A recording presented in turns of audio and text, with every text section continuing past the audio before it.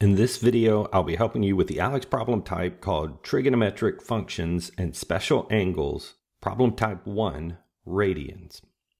We're asked here to find the exact value of cosine 3 pi fourths.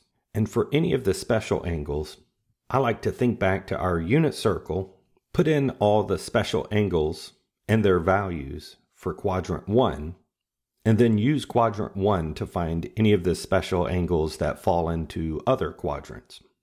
So I'll start by labeling our axes here in radians as zero radians. Pi is halfway around the circle, so pi halves is in the middle. And then the multiples of pi fourths are special angles, as well as the multiples of pi sixths which includes 2 pi 6, which is pi thirds. So these are all of our special angles in quadrant 1, and the values starting at 0, this is a unit circle, so 1 unit is our x value, so this would be 1, 0.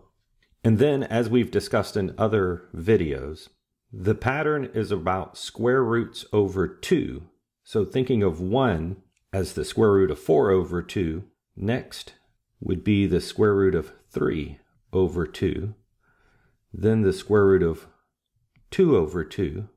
Then the square root of 1 over 2 is just 1 half. And the square root of 0 over 2 is 0.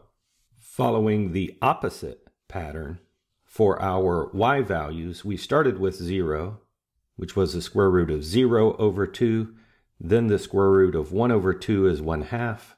The square root of 2 over 2. The square root of 3 over 2. And then the square root of 4 over 2 is just 1. So at this point, we have all of our special angle cosine and sine values, our x's and y's here in blue. And I can look back and I see that for this question, we're looking at 3 pi fourths. So this is a multiple of pi fourths. 3 pi fourths would be here, which looking back at quadrant 1, I can see is symmetric to pi fourths.